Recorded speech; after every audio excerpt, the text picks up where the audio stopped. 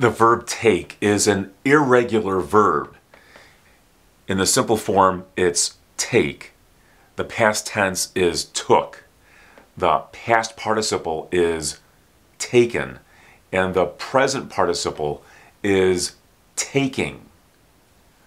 Take, took, taken, taking. I'll give you mine once I'm finished, okay?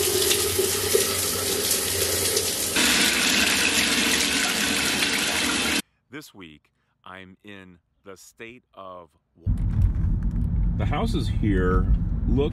Among the many different ways to use take, this word can mean to bring, get, or steal, move, use or consume medicine, follow, or choose. And there are many other uses in addition to these.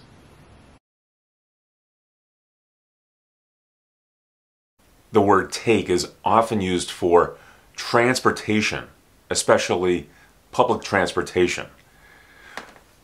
Which bus do you take? This is in the present tense, and this is the simple form of the verb. The answer to this question is I take, and then this would be the name of the bus or the number for the bus. I take the 515. To make this past tense, just change the helping verb. Which bus did you take? The main verb is still in the simple form. And your answer would be in the past tense, I took, and then the name of the bus. I took the 515. If we put this in the present perfect tense, I can form a yes no question.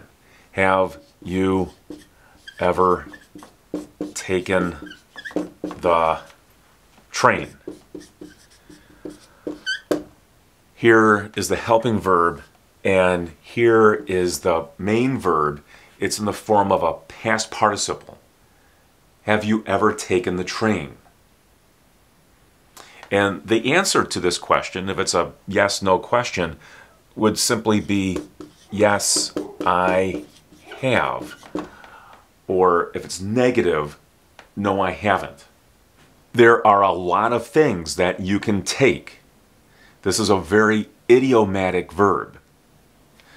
You can take a nap when you rest.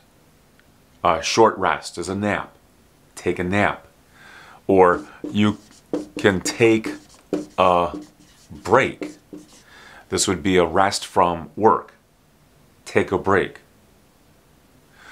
If you want a longer break, then you can take a vacation.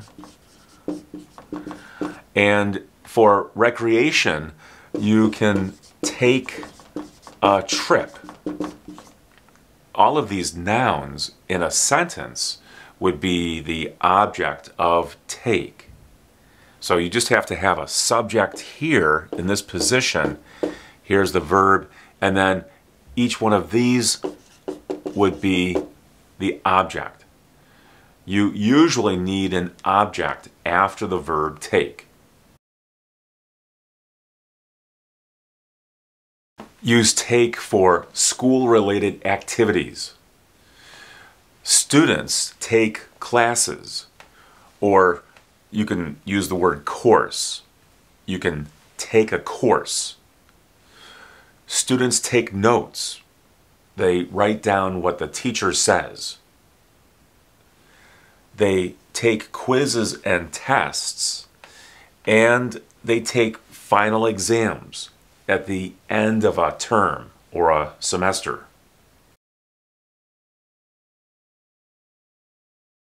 Use take when going up and down in a building. In a tall building, you take an elevator to a floor in that building. You take an escalator to move between floors.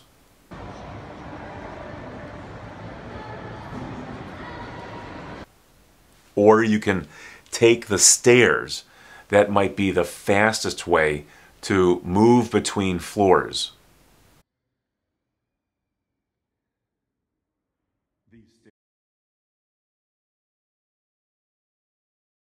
Use take for the consumption of things you eat or drink. Take a drink, or for food, take a bite. You can take a piece of something, or just take a piece. Or you can say, take a big piece, that would be a large amount of food, or take a small piece, that would be a small amount of food. Or you could also say, take uh, a sample, that would be a, a very small amount of food, sometimes offered in a grocery store. You take a sample. Use take for transportation. He takes a train to work. She takes the bus. They took a flight to LA. This would be on an airplane. Let's take an Uber. Take the highway.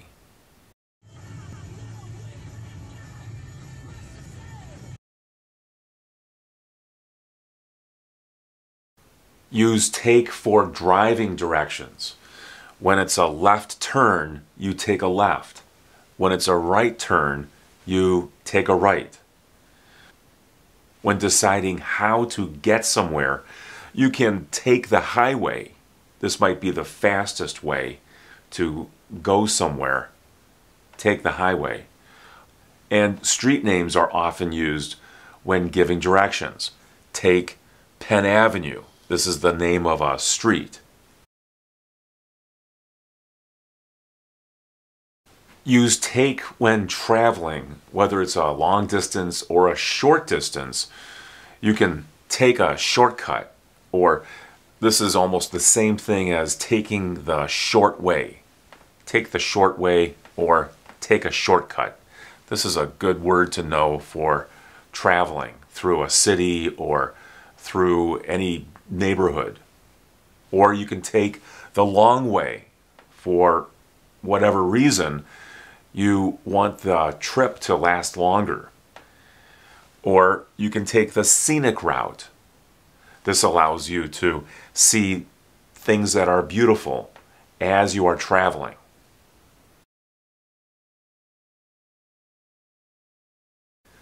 A nurse takes your pulse and your blood pressure when you go in for a checkup. The nurse takes your temperature and sometimes she takes your blood for a blood test. A doctor or a technician takes x rays. A patient takes medicine or prescription drugs. Take is often used for time, a length of time. Here are four different statements that use the verb take. It takes too long. This is in the present tense. In the past tense, it took too long. In the present continuous tense, it is taking too long. This is something that's happening right now. And this is in the present perfect tense. This is also happening now. It has taken too long.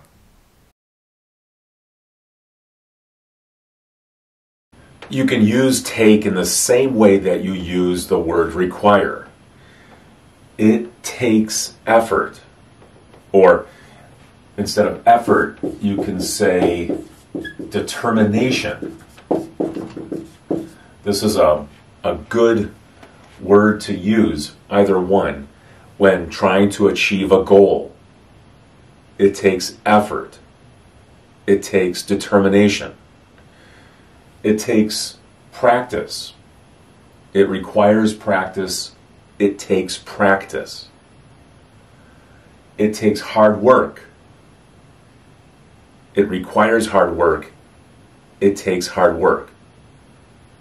And it takes time. For anything that you want to achieve, it requires time. It takes time. Do you have what it takes? Do you have the necessary skill to finish something? Do you have what it takes? He has what it takes.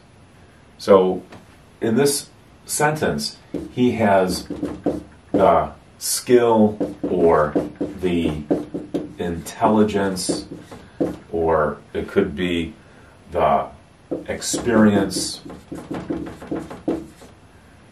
He has what it takes. I can't take it. Or I can't take it any longer.